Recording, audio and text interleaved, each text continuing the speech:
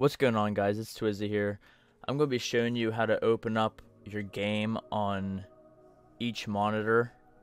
Um, I was having a problem with opening up a game and it would put it on the wrong monitor and I would have to click on the settings and set it to windowed and drag it over to the monitor that I wanted to play on. Well, I finally figured out how to fix it and I wasn't able to find any videos on YouTube about it and I'm just going to show you guys how to do this. If you just right click and go down to display settings, it'll pull up this. And you just go over and you click whichever monitor you want to use as your main source whenever you click on a link or click on a game it'll bring it up to your main monitor. And I literally never knew this.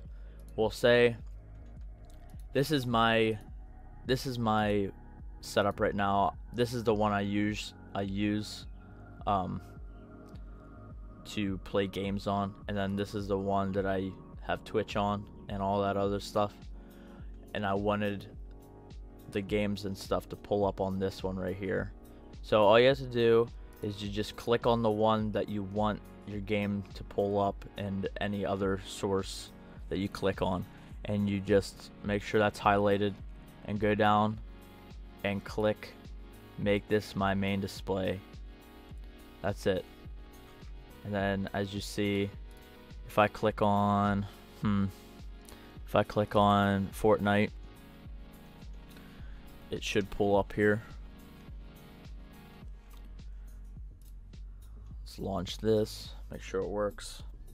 And there you go it's pulling up right now I hope this video helps you guys. Um thank you for watching.